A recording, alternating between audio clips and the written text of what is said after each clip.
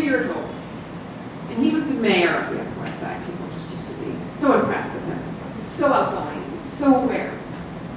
He used to go around the house and kind of collect the change. We used to call it stealing, but collecting nicer. and he put it in his bank like he wouldn't know it was gone. One day, he decided he wanted to go out and buy a Matchbox car or a action figure. And he took all his change and put it in his Ziploc bag. Now he took that bag, and he and his parents were going down, down the subway, and there was a man there playing music. And that man brought my son in. He drew, drew him in, I'm sorry. And he, Jack wanted to give him his change. And my ex-husband said, you want to give him some change? Sure. He walked over. He put the whole bag of change in the man's guitar case. Now, Jack's dad said, you know, Jack, you gave him all the change. You can't take it back. And he said, yeah, I know. I want to give it to him. And that little boy, in that little minute, showed us all the giving nature of a three-year-old. Some three-year-olds, not all. And him only for that one minute. and he inspired me with that action, that purity. He inspired and he changed that musician's life by that one action. And I am, obviously, I tried to keep the secret, but that was my son. Um, too bad I gave him the punchline. So with that, I hope that I am able to be an inspiration to my son. Because through him and my older son, I strive to prove that I'm worthy and I want to help people and make them feel that they are better people because they are my children. Sorry. So anyway, I created Make It Happen. And I created Make It Happen Oh, first. How many of you guys watch the TV commercials or see the pictures on Instagram and say, you know, and you see the stories about the Syrian refugees and you say, gosh, I, I, I, need, to, I need to do this. I need, I need to help. I need to do something. How many? Anyone? None? Not that many. Wow. okay, well, I will speak to the people that don't know. But when, then there's those people that like, I want to make a difference, but I don't know how. And that's where Make It Happen comes in. And Make It Happen is here to educate the public on issues that are important, to educate people on the who, the what, the why, the where, the how of making change occur. So, inspirationally, obviously my children, my mother was also a great inspiration to me. She was always a very giving person. She was always, she taught me that we need to live life thinking about others. Our life will be better because of it.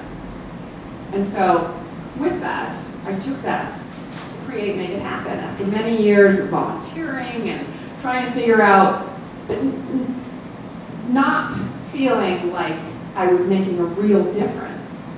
I decided, okay, I'm going to commit my life to this. I'm going to commit my business to this. So Make It Happen goes about creating campaigns for issues that we pr produce content that goes across many different platforms. And with all those platforms, we do make sure that the message is the same, but the content is unique. And with each of these campaigns, we hope to reach as many, as many people as possible based on their choice of technology.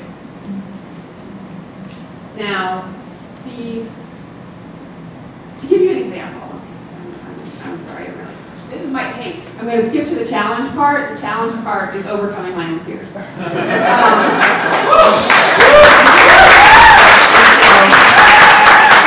Um, to give you an example of what a campaign by Make It Happen would look like is we have a cause. The cause is our client. This time is human trafficking. We work with a director of a film who's about to show at, at Sundance, about to premiere there. about human trafficking. So we create or we have a video component. Then we use experts in the field to create a speaker series that works in conjunction with this film premiere. And that allows people to go see the movie and be educated even further in the topic matter. So that when they leave, they feel like they know what they're talking about. They feel like they are invested in the issue.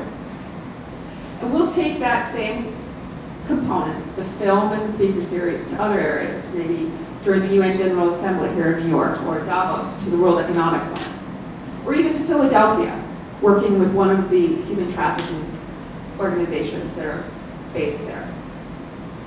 In addition to this, we will create social media, the Holy Grail of social media campaign. That's the other challenge I have. Um, the Holy Grail of social media, and we will find the influencers on the area to push the message of this campaign, of this outreach. And by doing that, we will bring in a larger amount of knowledge to people. Now, I forgot what I was going to say. I was going to say it in foreign language. That's why it didn't come. But it was a situation where I feel the importance of knowledge is the only way that we will make change. What it is and what makes Make It Happen unique and important is we want people to invest in knowing about the cause. Why are these things happening? Because you can't change the world without knowing why it's happening in the first place.